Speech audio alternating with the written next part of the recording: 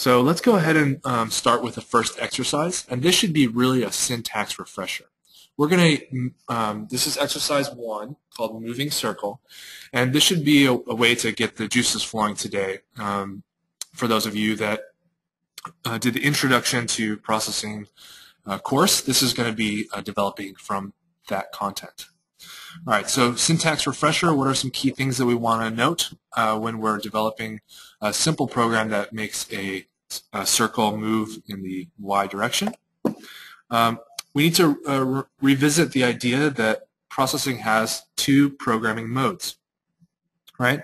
Um, actually, there are more, but we'll focus on the two primary ones, which are basic and continuous, right? Um, basic mode executes once.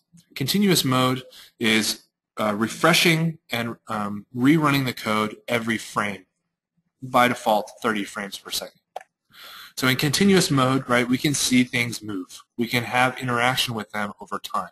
And this is where the kind of interesting graphical and time-based graphical representation um, can get really fun and interesting with processing. Right? Basic mode, uh, you know, doesn't make processing very unique, whereas this uh, very much does so.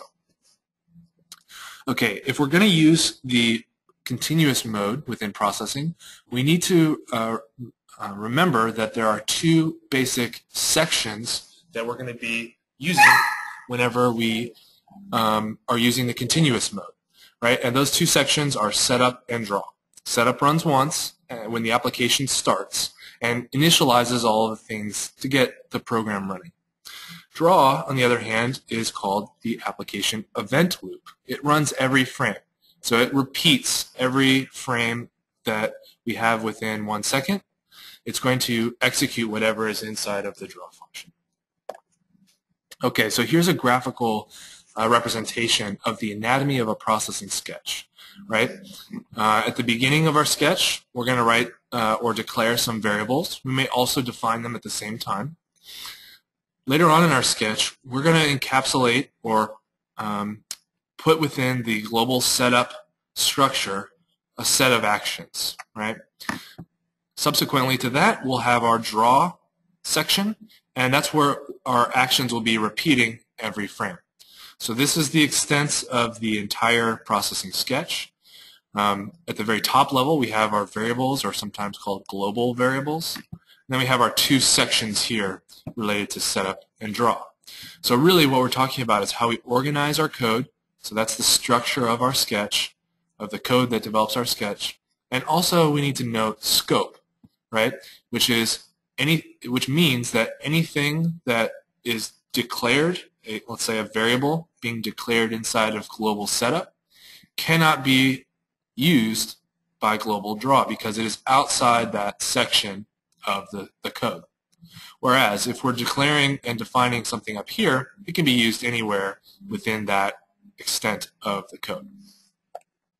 Okay, so a couple of reminders on syntax and processing. It is case sensitive, right? Every line must end in a semicolon. That's the, a way to tell the computer that the line is terminated and we're going to go on to the next action. And whenever we make a variable, the type must be defined whenever we're declaring that variable. So if I want to have an integer, I have to make sure that processing knows that my integer, being my variable name, is integer type. Okay. And one last thing that we're going to talk about before we get into actually um, developing our sketch is let's talk a little bit more about how we control the flow of our sketch, right? If we have a ball that's going to be falling in the y direction, such as this, right? What happens when it reaches the lower end of our sketch window? Well, we want to probably have it do something. So the way we're going to control what it does is a conditional statement that says if we reach the end, go in the other direction. Right?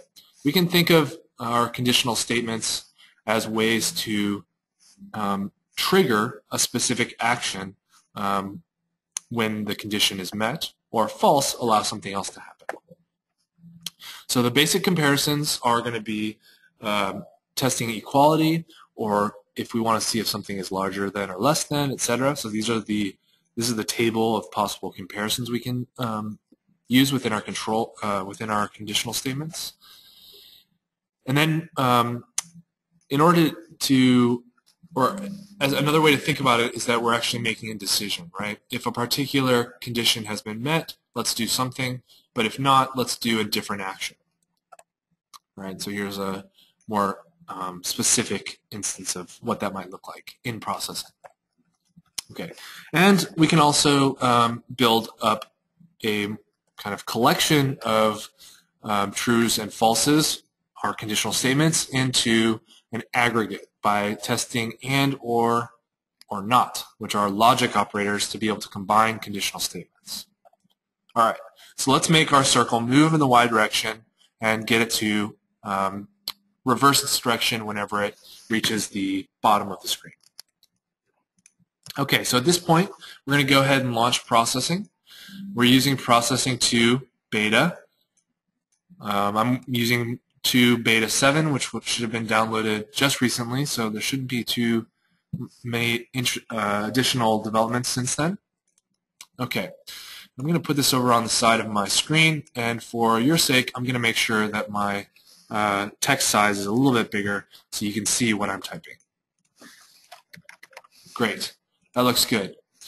All right, so the first thing we want to do is we want to include our pseudocode, right? Again, this is going to be, um, we're going to be looking at how we can make something move. So to start our pseudocode, we're going to do our two backslashes. Let's just remind ourselves what the topic is going to be for this uh, particular sketch. It's going to be linear movement. And what we need to do, um, based on our um, uh, structural anatomy of our um, processing sketch, is that we need to uh, section off the different parts of our um, our window here. So let's go ahead and start by saying that this is where our global variables are going to be. Down below, this is going to be our global setup. And below that, this is going to be our global draw. Great. Now we want to have our um, our circle move in the y direction. So what are some of the things that we need to define? Well, at first we need to have uh, some variables that will hold and store our values for, let's say, position and speed. So let's go ahead and start in our global variables by defining or yeah, let's define values for position and speed. All right. Next, relative to the circle itself, let's also declare and define how big it's going to be. So let's define a value for circle radius. Great. And then inside the setup, um, we need to do a few uh, kind of um, things that we're going to be using over and over again, right? These are keywords related to um, how the sketch window is going to look, the display window um, for our output. So the first thing we're going to do is define the size of the window, right?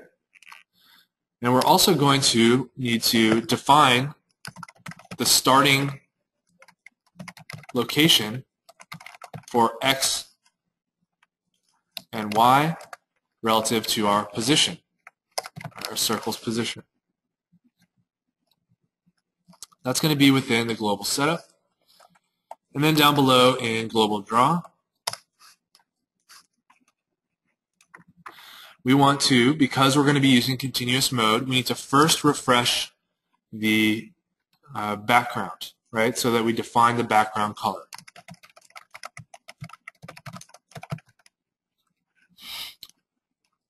Okay. Uh, the next step is going to be that we need to um, set up the conditional action um, for the for the situation where the ball has reached the maximum um, y value in terms of our display window. All right, so we'll just call this for bouncing. All right, so we're going to set up the conditional action for bouncing. The next step is that we need to update the um, position of the circle and then draw the circle.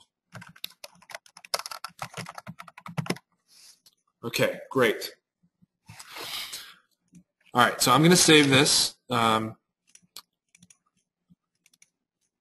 as our working file. Again, this is the folder uh, list of files you should have received in the uh, download that we sent you. So this is going to be our working version of the moving circle file. Okay.